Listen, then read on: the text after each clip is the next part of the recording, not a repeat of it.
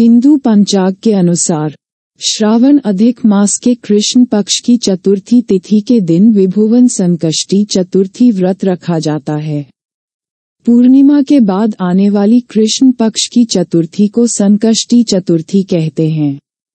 इस दिन भगवान गणेश की पूजा अर्चना करने से व्यक्ति के जीवन से आ रही बाधाएँ दूर होती हैं। साथ ही इस दिन चंद्रमा की पूजा विशेष महत्व है।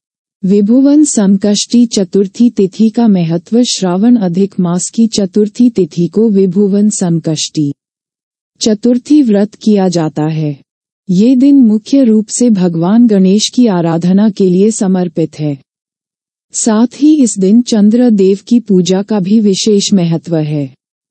इस दिन पूरे श्रद्धा भाव के साथ व्रत करने से व्यक्ति के जीवन में आ रहे सभी कष्ट दूर हो जाते हैं।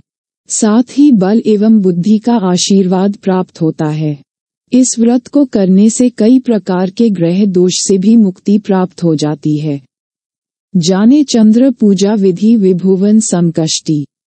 चतुर्थी के दिन विधि विधान के साथ भगवान गणेश की पूजा करें। गणपति जी का अभिषेक करें। उनको वस्त्र, जनेऊ, चंदन, फूल, माला आदि चढ़ाएँ। अब गणेश जी को उनका प्रिय भोग जैसे मोदक या लड्डू का भोग लगाएँ।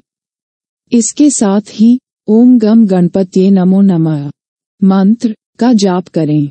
रात के समय में चंद्र देव की पूजा करें। शुभ मुहूर्त में उन्हें दूध और जल में अक्षत और सफ़ेद फूल डालकर अर्घ्य दें। चंद्रमा पूजा करने से संकष्टी चतुर्थी व्रत की पूरा फल प्राप्त होता है। विभुवन संकष्टी चतुर्थी के दिन 4 अगस्त 2023 को चंद्रोदय रात शून्य नौ बजकर बीस मिनट पर होगा।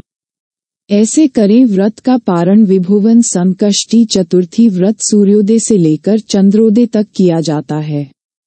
चंद्रमा को अर्घ्य देने के बाद ही व्रत का पारण किया जाता है। संकष्टी चतुर्थी तिथि का समापन 5 अगस्त 2023 को सुबह शून्य नौ बजकर उनतालीस मिनट पर होगा। शाम को चंद्रोदय होने के बाद चंद्रदेव को अर्घ्य देने के बाद उन्हें सिंदूर, अक्षत चढ़ाकर भोग लगाएँ। इसके बाद अपना व्रत खोलें। नमक वाली चीज़ें खाकर व्रत का पारण न करें। केवल सात्विक भोजन या फलाहार ही ग्रहण करें और तामसिक भोजन से परहेज करें।